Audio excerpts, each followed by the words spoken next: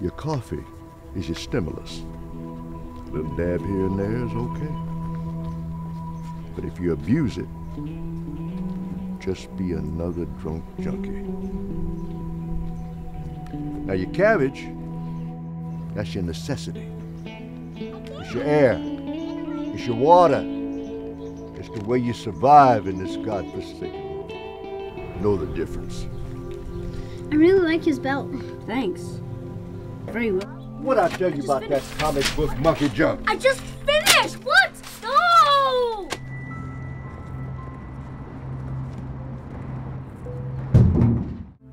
Little vodka spritzer never hurt no one. So, how do you like my place? Not bad. Not bad at all.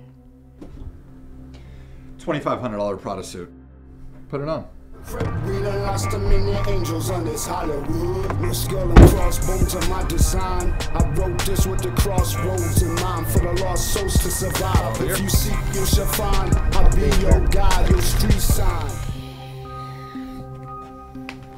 How fucking easy was that? The fuck, bro? Dude, it's a casual thing. This ain't the kind of business I had in mind. You know what? Take your damn cash. Taye! I want nothing to do with you.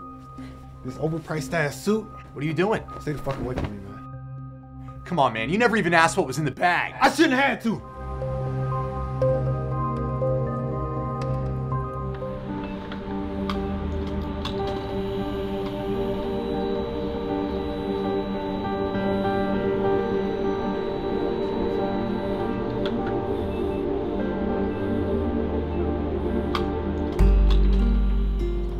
Let me show you something. What's this? Mr. Extraordinary. I found his angle, like his thing. He's a poet by day and he's a crime fighter by night. Like he uses his words to invoke change, to inspire people, to help them find a purpose, to be great. All I have is a pen, a pad, and a voice. We're left with many options, but ultimately, to make the right choice.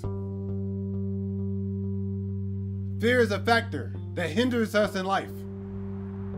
Life is about choices. It's about weighing out the differences.